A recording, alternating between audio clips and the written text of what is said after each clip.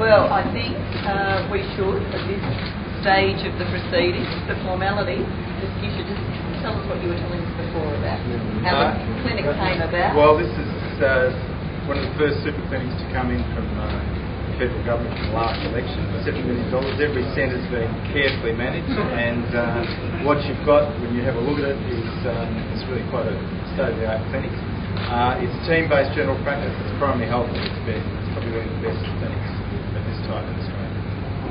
And I think we should be saying, with our great local representative, Darren, you should just say a few words about how Well- the clinic came about. Well, um, we worked uh, very closely in the lead up to the 2007 election with uh, the GP Association of Geelong and uh, Deakin University's Medical School, uh, and we were able to put a very successful proposition to uh, Nicola Roxon, who was, of course, our uh, shadow health spokesperson at that time, and here we are today, some uh, three years later. So it's fantastic region.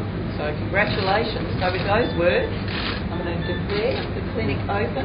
I'm going to declare it open on the basis we believe in investing in GP super clinics, not in cutting services.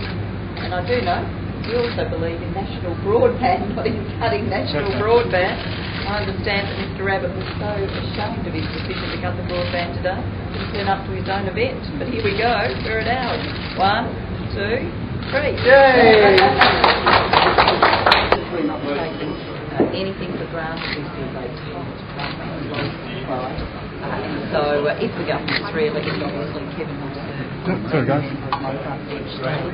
Uh, can I say it's just fantastic to be here with Darren Cheeseman in Corangamite, opening one of the services that we've invested in. Uh, we believe these GP super clinics will be able to offer people integrated health care in a community like this one. This is the kind of facility that there will be no more of if Mr Abbott is elected. Uh, and Mr Abbott has made it clear today that he will uh, slash our national broadband network. Uh, this matters right around the country. It matters here. Darren was just talking to me about how access to broadband is a big issue in his electorate. And Mr Abbott is basically so embarrassed by his cutback he didn't even turn up to his own announcement today. Uh, once again, this is showing poor judgment. And uh, we are off to uh, have some more local discussions. So thank you very much. Very much.